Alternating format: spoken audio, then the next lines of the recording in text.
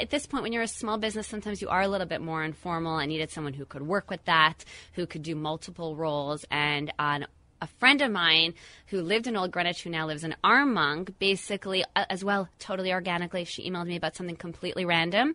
And I happened to say, hey, by the way, I'm looking for someone with, you know, Right. these, for these roles and responsibilities. And she basically emailed back saying, I'm interested. And I hadn't even necessarily intended. It was more like, can you spray it out?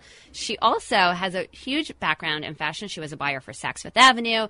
I mean, she's worked for multiple different huge department stores. So it was just perfect. She started in January. She's a mom of two, and her daughter, who is in kindergarten, now is able to model for our mini girls collection. Oh, that's so cute. She, exactly. So it, um, you know, we're a team of three moms. Um, and as well, that is was important to me. I want to support any women out there, of course, but um, we, you know, being sort of a mom-led business Yes. is something that I can relate a lot to. There's a lot of flexibility.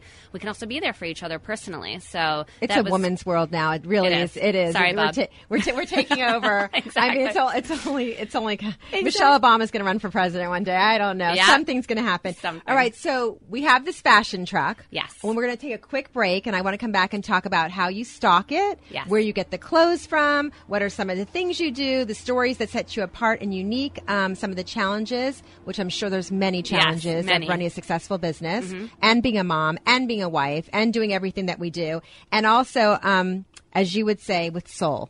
Absolutely. Just like my drink, CBD Soul Strains of Life Water. Okay, we'll be right back. You're listening to What's Up with Wendy. We'll take a quick break.